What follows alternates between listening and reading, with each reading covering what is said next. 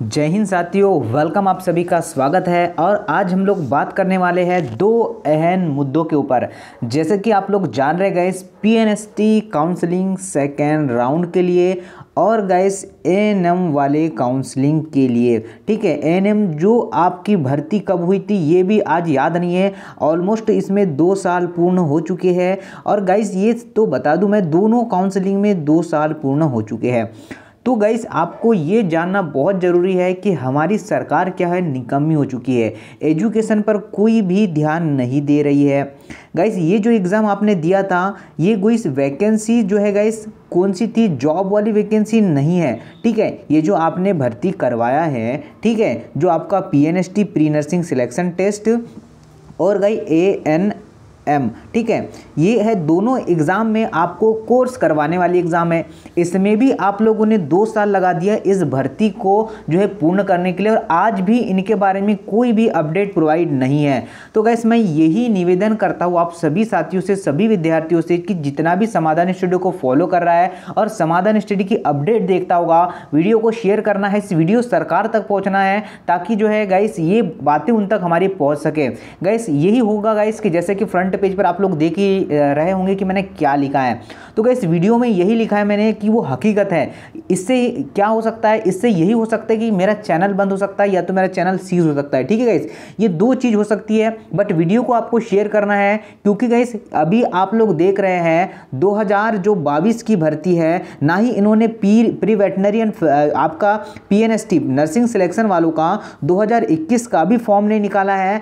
और गैस जो है ए की 2020 की भर्ती भी अभी तक नहीं किया और कोई ऐसी नहीं कि इन्होंने भर्ती नहीं किया है। गैस कोई अपडेट भी नहीं दिया है। मैं डायरेक्ट यहाँ पर डी के ऑफिशियल वेबसाइट पर हूँ। डेली आपके लिए अपडेट प्रोवाइड करता हूँ। मेरी डेली लाइव क्लासेस में गाइस बच्चों के कमेंट्स आते हैं। ऑफलाइन वीडियो जब भी डालता हूँ वो कमेंट्स आता है कि, सर काउंसलिंग कब होगी? क्या बताइए हम उन्हें क्या बताएँगे? आप ही ज़रा बताइए गाइस कि हम आपको क्या अपडेट देंगे? कोई भी अपडेट नहीं दे रही है। शिक्षा मंत्री ध्यान नहीं दे रहा है। आपका जो मेडिकल वाले अफसर बैठे वो भी कोई ध्यान नहीं दे रहे। सरकार पूरी निकम्मी हो चुकी है। पैसा लेने का काम कर रही है। सेकेंड राउंड की जो है इन्होंने काउंसलिंग करवा दी है। सेकेंड राउंड की काउंसलिंग पहले रिजेक्ट करवाया, फिर काउंसलिंग करवाया। सभी से तीन तीन सौ रुपये ले लिया है और जो है बैठ के जो है सरकार बैठ चुकी है। कोई भी प्रोसेस नहीं दे रही है। अट्ठाईस तारीख को अलॉटमेंट लेटर आने वाला था। आज तक अलॉटमेंट लेटर की कोई भी जानकारी इनके द्वारा नहीं दी गई है। तो सरकार क्या हो चुकी है, इसके पैर टूट चुकी है, पूरी निकम्मी हो चुकी है। अब जो है गाइस आप सभी को ही क्या होगा, एकजुट होना पड़ेगा और इनके खिलाफ आवाज़ उठाना पड़ेगा।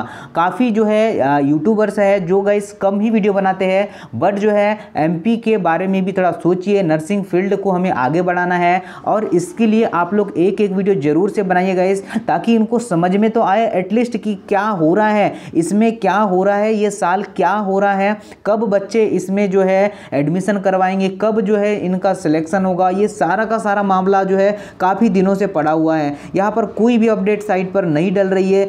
ये तो नोटिस तो डाल देते एटलीस्ट कि क्या प्रोसेस हो रही है। गैस इनके द्वारा तो नोटिस भी जारी नहीं किया जा रहा है। इन्होंने डेट दिया, वो डेट भी इनके द्वारा जो है रिजेक्ट कर दी गई है। कोई भी अपडेट नहीं दे रहे ये सरकार क्या हो चुकी है? निकम्मी है। तो मैं आप सभी से यही निवेदन करूँगा गैस कि आप लोग वीडियो को शेयर करें। ये वीडियो गैस उन तक पहुँचाए जो गैस इसकी जो है चुप्पी साधे बैठे हुए हैं। ताकि जो है, उन्हें पता तो चल सके कि एटलीस्ट बच्चों की डिमांड क्या है, बच्चों की मांग क्या है। ठीक है तो मैं आपके साथ गई हर समय रहूँगा, हर समय खड़ा हूँ।